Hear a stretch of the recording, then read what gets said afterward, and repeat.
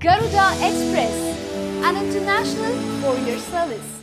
Koratala Siva, the star writer cum director, is busy in shaping up Bharat Ane Nenu. On the other side, reports from Filmnagar reveal that the director is also working on an upcoming movie. Dil Raju, the presenter of Sai Dharam Tej's Jawan, happened to show the film to Koratala Siva and asked the director to suggest some improvements for the project. We hear that the director liked the film and has asked the makers to do some changes in the second half of the film. The makers of the film have agreed to the suggestions and are said to be working on them. Grapevine has it that a few scenes from the film will be reshot to incorporate the suggested changes. Let us tell you that the film will be released on December 1st. Mehreen Kaur plays the female lead in the film and the music is by S.S. Thaman.